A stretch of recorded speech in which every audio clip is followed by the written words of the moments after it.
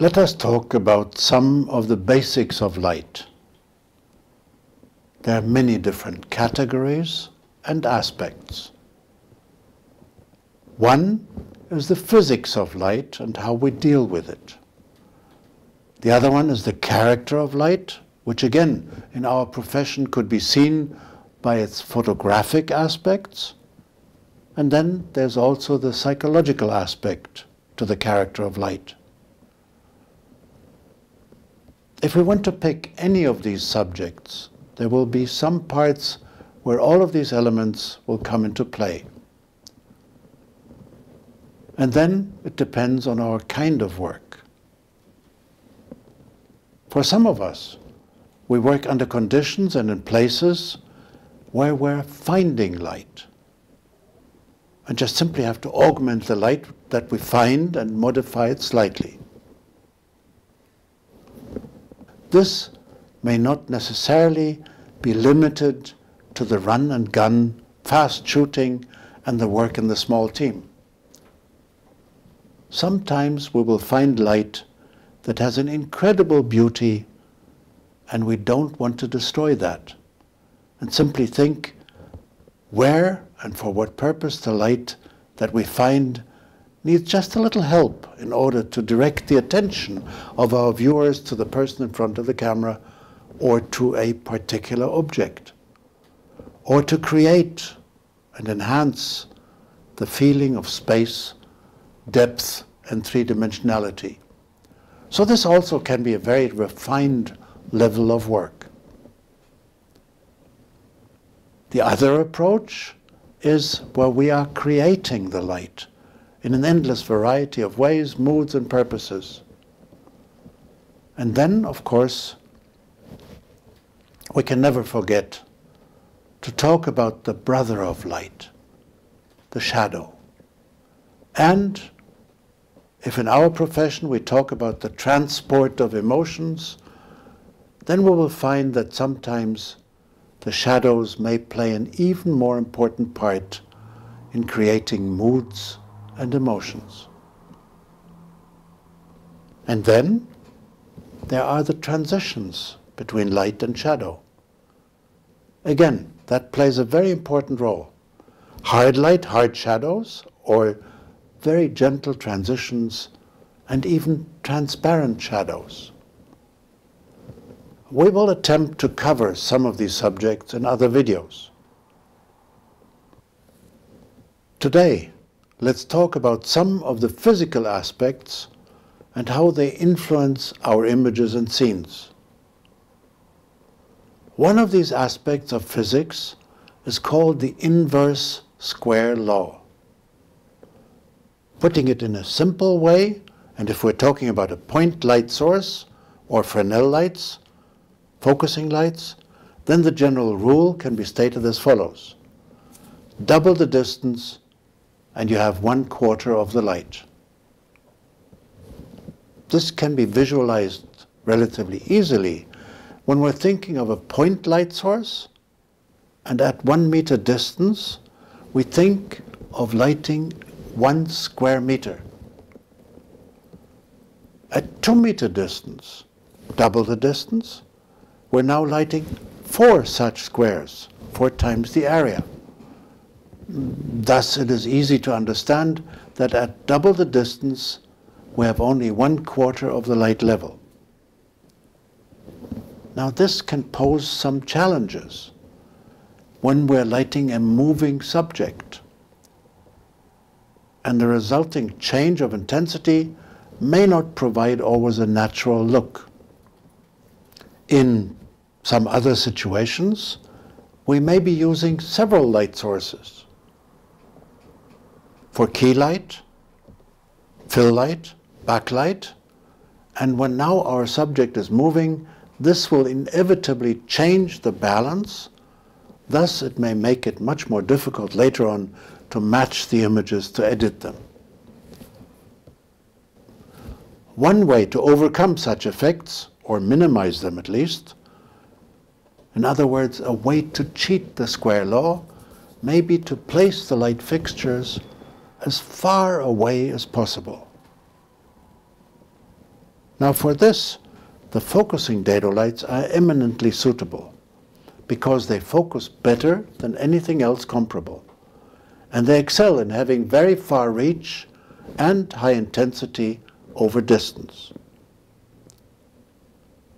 Furthermore, they are very controllable and their beam of light is extremely clean, perfectly even and smooth within the beam, but no stray light outside the beam.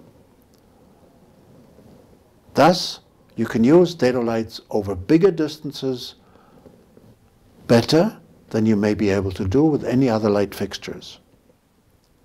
Lighting indoors, there may be limitations as to how far away you can place the light fixtures. Here, you can think of using a hard reflector that works like a mirror. Since the light can spot down to 4 degrees, you can adjust easily to the size of the mirror and reflecting the light from such a hard mirror-like reflector, you keep the original character of the beam of light, but you are creating a virtual light source, maybe at double the distance. Adding the distance of the light fixture to the reflector or mirror, and the distance of the reflector to your subject. Thus, you minimize the effect of the square law. This can be easy to apply in everyday lighting because hard reflectors are quite commonly available.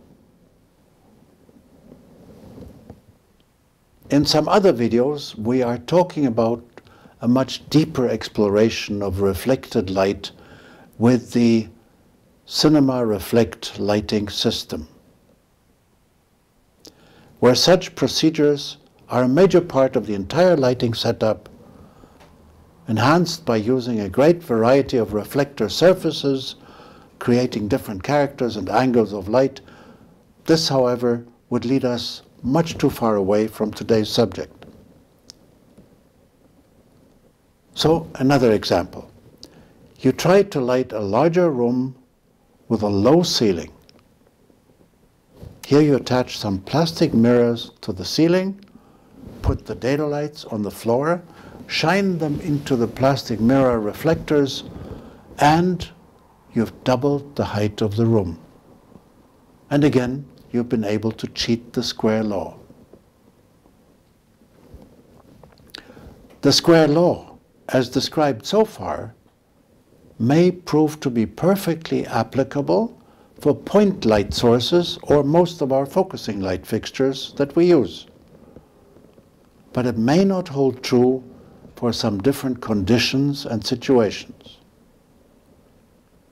Number one, lighting from close proximity. Here, the size and the diameter of the front lens may start showing influence. And you may find that with a small angle of exit near the spot position, these calculations and measurements will not relate to the distance from the front lens, or not even to the actual light source within the fixture, but to a virtual light source which may have to be imagined behind the light fixture. If you want to explore these subjects deeply, they may go into mathematics and formulas that the practitioner may not be familiar with. In order not to make this too confusing, we will put together some of these thoughts and formulas in a website for those who want to go into it deeply and more scientifically. Number two, the closer you get to a parallel beam, the square law, as we've understood it this far, may apply less and less when we're looking at the position of the light fixture. The explanation may again lie in the virtual light source, which will move further and further back behind the light fixture when we come close to a parallel beam.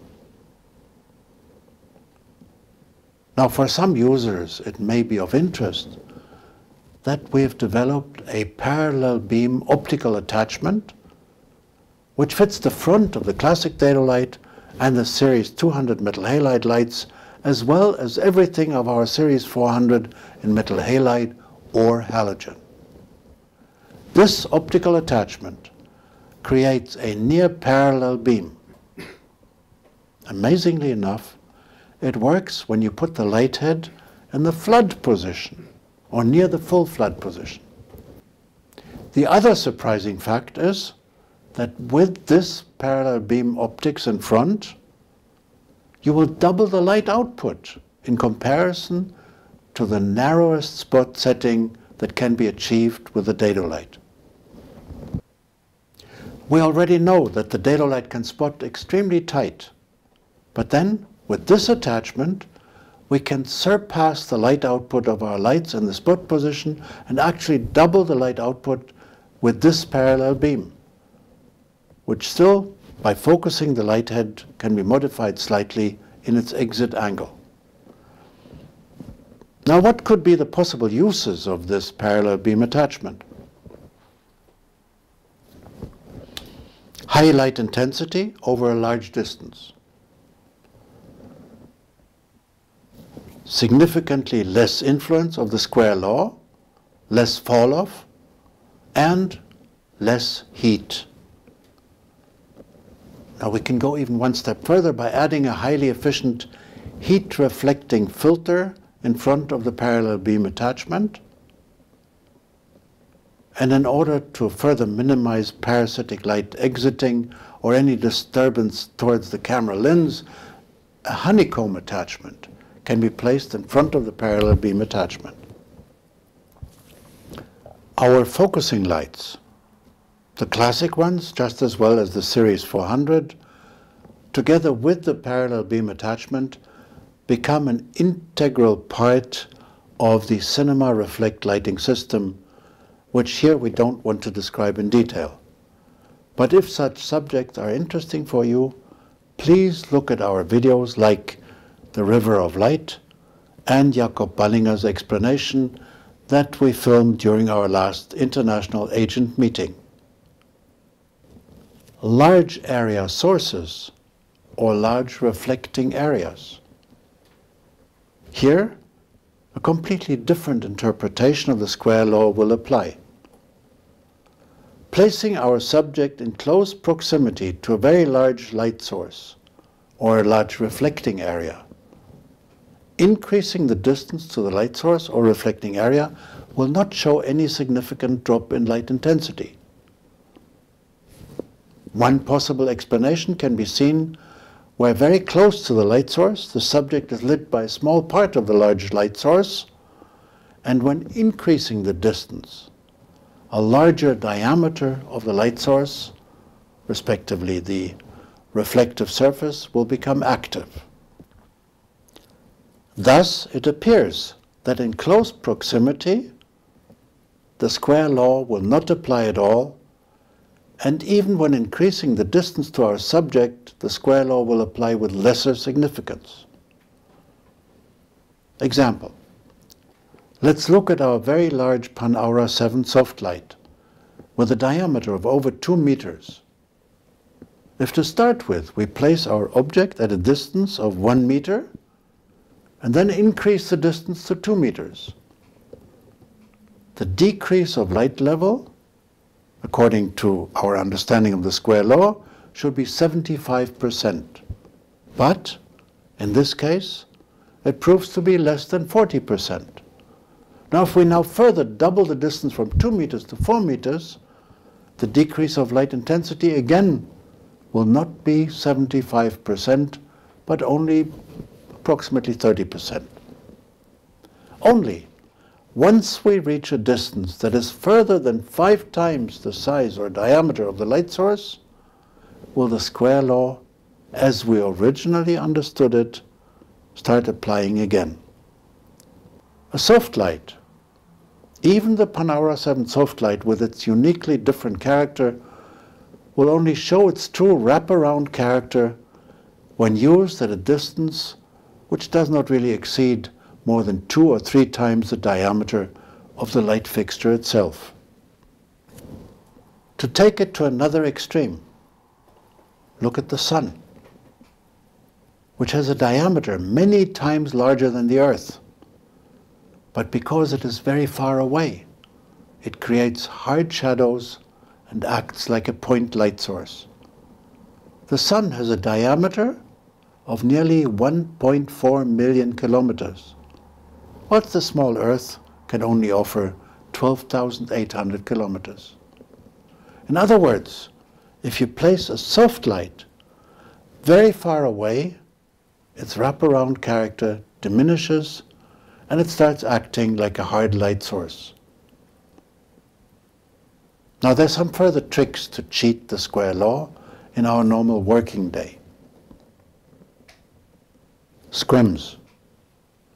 Scrims are wire nets which exist in different densities, one half, full and double. Some of these are also cut in half, so that one half is open, the other half is covered by the net. When you use a focusing light in downward tilted position, and your talent comes closer to the light, the intensity will rise drastically. Here the half scrim can help to minimize the intensity at closer distance. Another kind of scrim is called graduated scrim, with three steps of intensity, and that may work even a little bit better. The most elegant way, in my mind, is our graduated gray filter. Every cameraman is familiar with such filters to be used on the camera because the sky often is a lot brighter than desired. For lights, the same physics apply, but so far, we're the only ones who offer graduated gray filters for our lights. Maybe because they're not so easy to manufacture, or maybe because nobody has thought about it.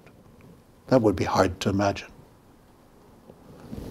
For museums, we go even one step further. We're the only ones who have patented and are building focusing lights with asymmetric light distribution. Large paintings lit with our asymmetric lights will not receive more light on the top, whereas a habit painters usually place the sky. Just a few aspects concerning light and the square law. In our other videos, we will try and go deeper into the character of light and the spectral characteristics. So thank you for now. I'm Dedo.